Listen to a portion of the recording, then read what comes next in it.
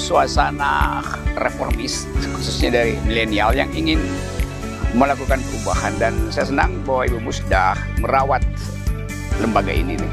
Bu Musda selalu punya terobosan untuk merawat harapan dan menumbuhkan pikiran milenial. Dan saya lihat uh, kurikulumnya sangat padat tetapi menarik. Dan itu menimbulkan uh, keinginan lebih kuat untuk memperbanyak forum semacam ini. Semacam traveling seminar dan itu penting untuk menghasilkan kembali Indonesia yang berpikir.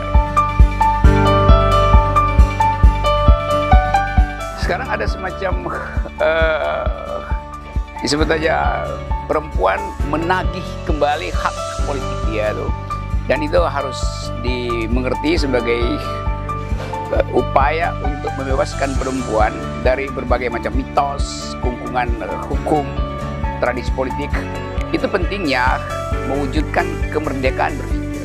Dan kemerdekaan berpikir adalah alat pertama dari kaum perempuan untuk memerdekakan bangsanya dari feodalisme, dari kapitalisme, dari oligarki, dan seterusnya.